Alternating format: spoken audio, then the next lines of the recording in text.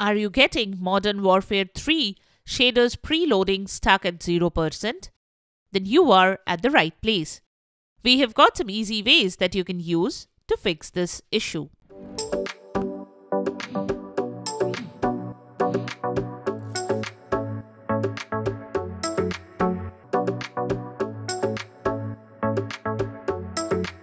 Welcome back to Silicophilic, your go-to source for tech tips and fixes.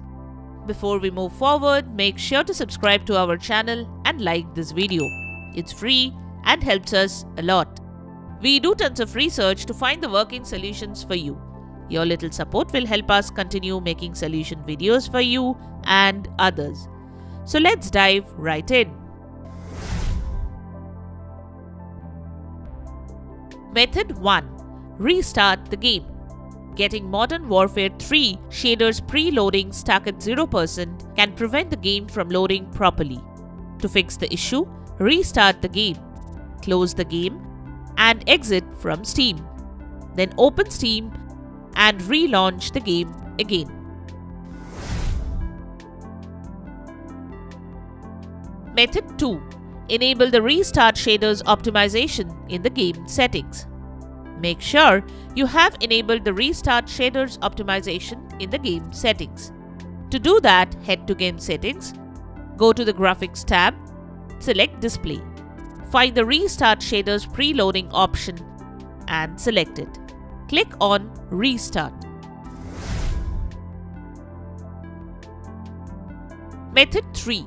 Check your PC system requirement. Ensure your PC has the minimum system requirements to run the game. Go to the game page from Steam. Scroll down to find the game requirements. Now open your PC settings. Click on System, then go to the About tab. Now tally if your system fulfills the basic requirements to run the game.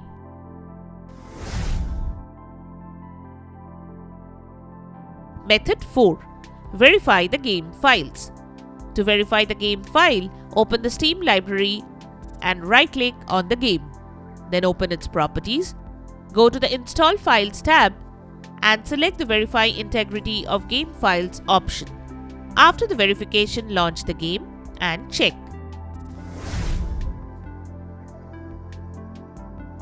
Method 5. Reinstall the game.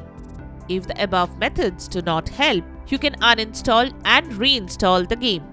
Right-click on the game from Steam library and select the Manage option. Select Uninstall. Once done, go to the game installation folder and delete it. Once you delete it, reinstall the game to a different drive and check if the issue is fixed. Method 6. Contact Modern Warfare 3 support team for help.